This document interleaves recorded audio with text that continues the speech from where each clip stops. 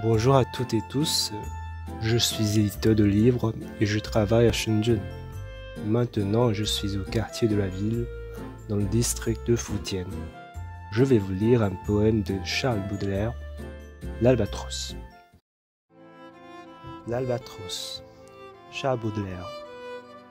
Souvent, pour s'amuser, les hommes d'équipage prennent des albatros, vastes oiseaux des mers, qui suivent indolent compagnon de voyage, le navire glissant sur les gouffres amers.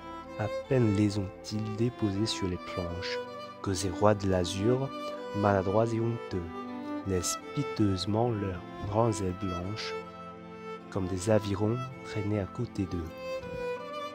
Ce voyageur ailé, comme il est gauche et veulent, lui naguère si beau, il est comique ailé.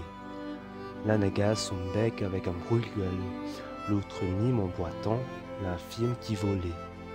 Le poète est semblable au prince des nuées, qui hante la tempête et se rit de l'archer. Exilé sur le sol au milieu des huées, ses ailes de géant n'empêchent de marcher. 我在全世界为你读诗，同你一起，诗约万里。Merci。